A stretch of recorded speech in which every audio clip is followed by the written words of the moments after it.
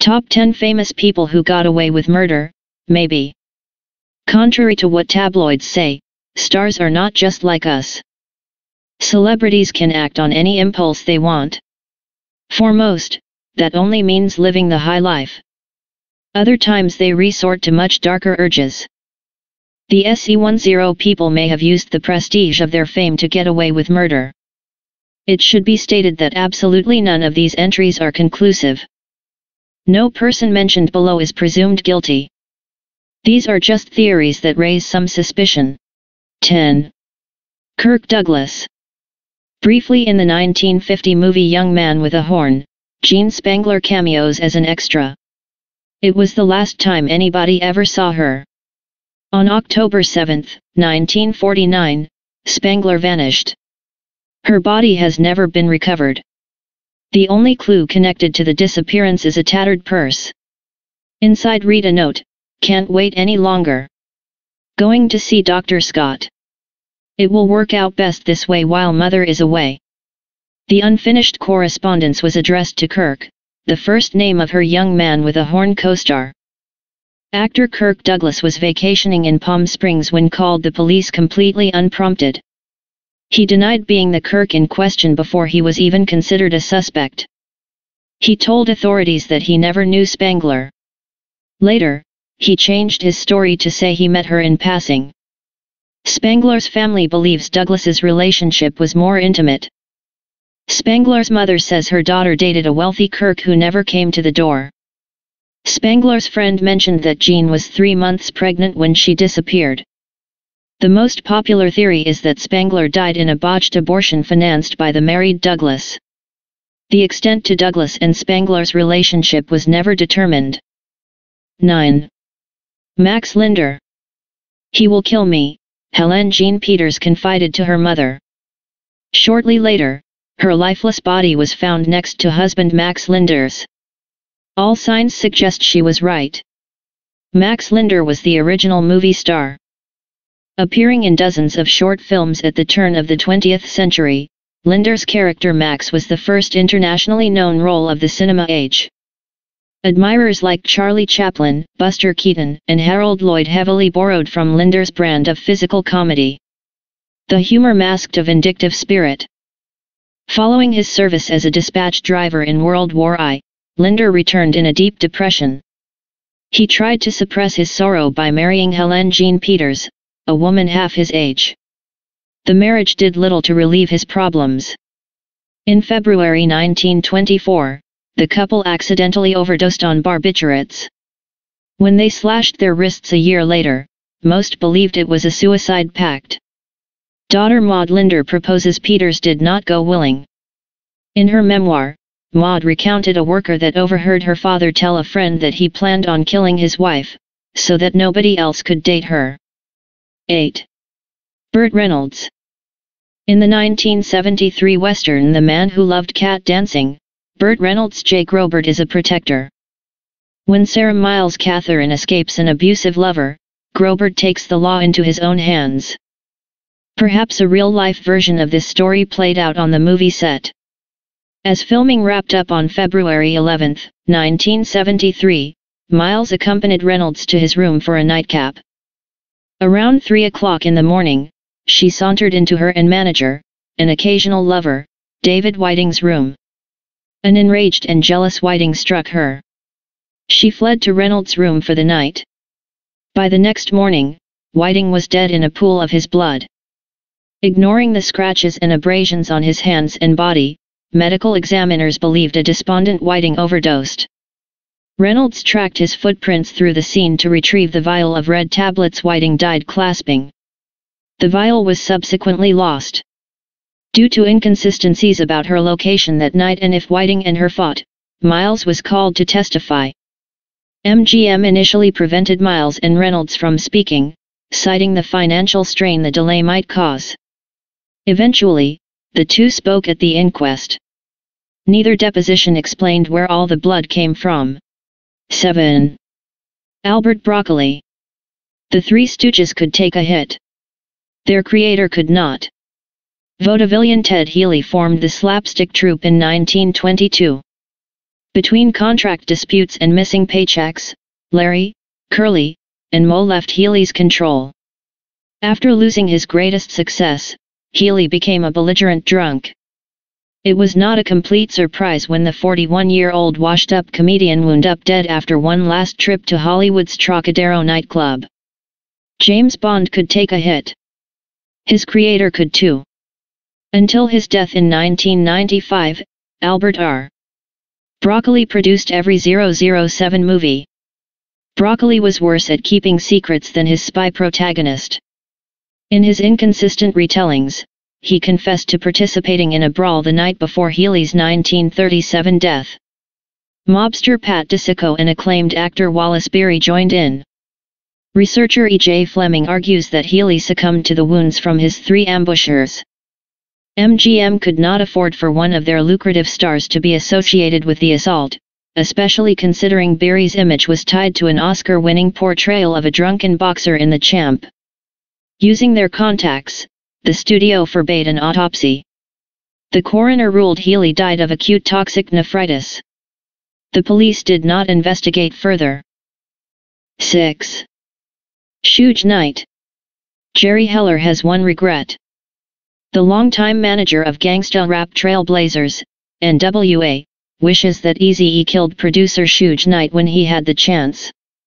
Heller believes that Suge Knight got to Eazy-E first. Marquis Wright, Eazy-E's son, shares Heller's conviction. The theory stems from an interview Knight gave on a 2003 episode of Jimmy Kimmel Live. Kimmel joked about Suge Knight's well-documented violent history. Knight replied that he no longer seeks vengeance with bullets. He prefers, this new thing out, people sell M all the time. They get this stuff they call they get blood from somebody with AIDS and then they shoot you with it. That's the slow death. Eazy-E did not have a slow death. He quickly succumbed to AIDS-related pneumonia. Marquis cites the disease's rapid progression as evidence Eazy-E was murdered. The timeline begins in 1991 when Knight sent guards to strong-arm Eazy-E to release Dr. Dre onto Knight's death row label. At some point following the altercation, Knight pricked Eazy-E with a syringe. If Suge Knight is responsible for Eazy-E's 1995 death, he did not get away with murder. As of 2018, he has been incarcerated for voluntary manslaughter. 5. William Randolph Hearst Thomas Ince's life should be better known. The so-called father of the Western produced over 800 movies, including the star-making performance of America's sweetheart Mary Pickford. His studio became the model for film production for decades. Yet his most enduring legacy is his death.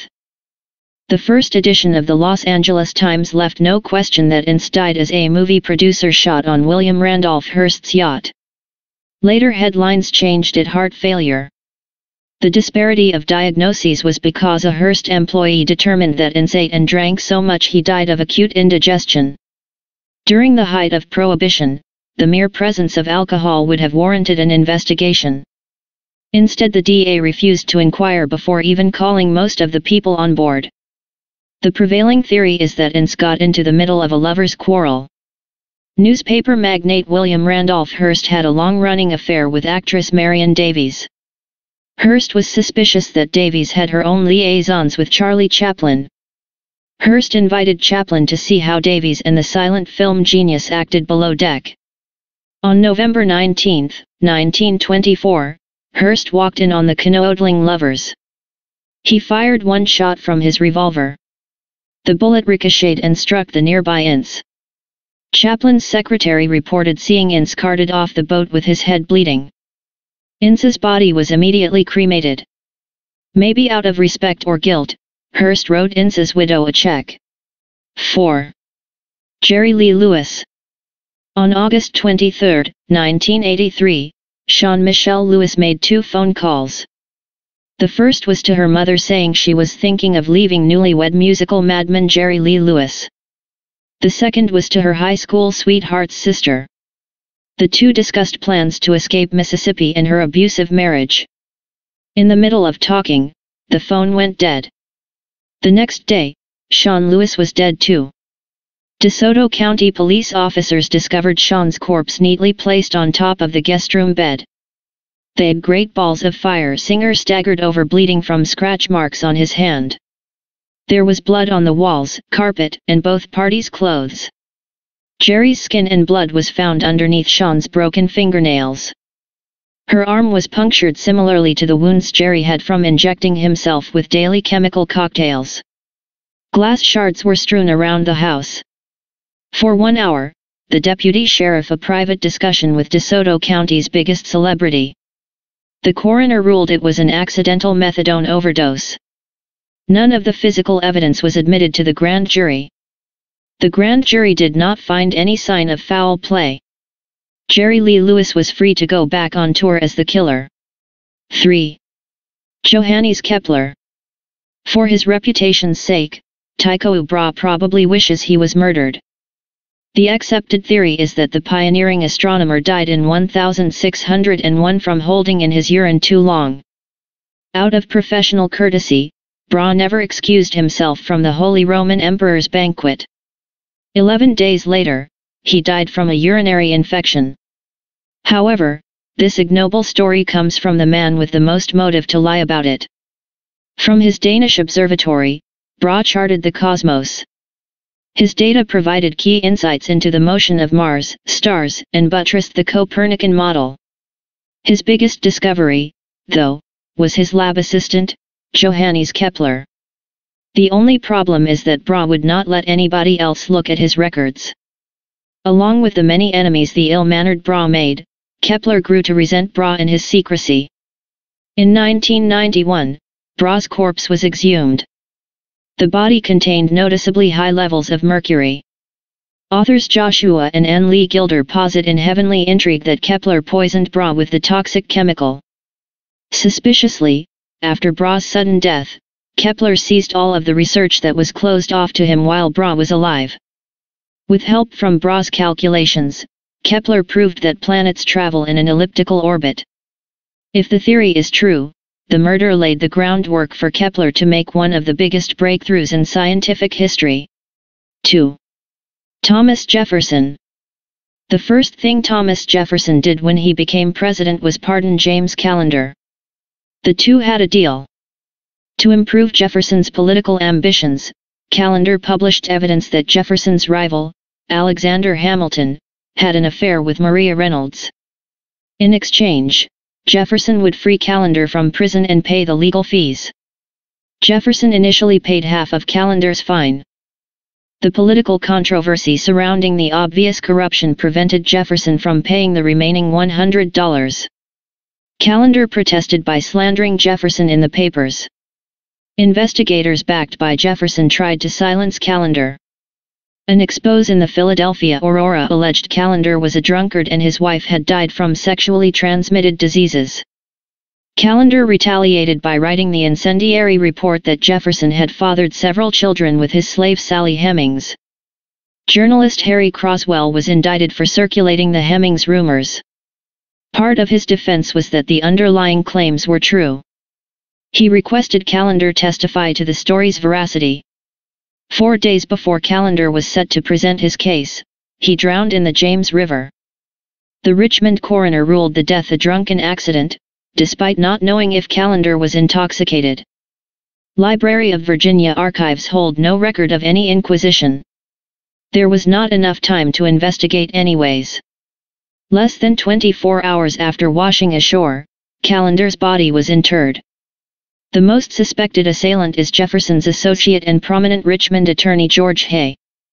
Weeks before he died, Hay bludgeoned Callender with a cane.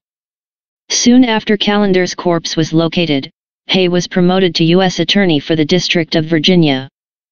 The only problem with the theory is that it would mean that a president would abuse their power. 1.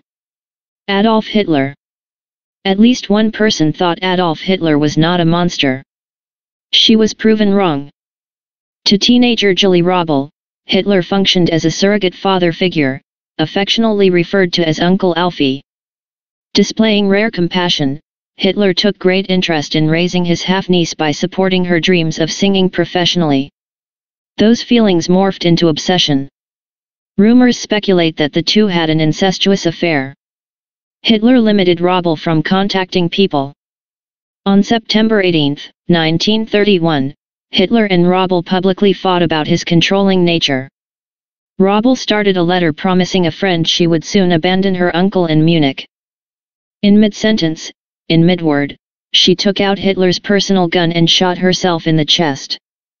Bavarian Minister of Justice Franz Gürtner bungled the investigation.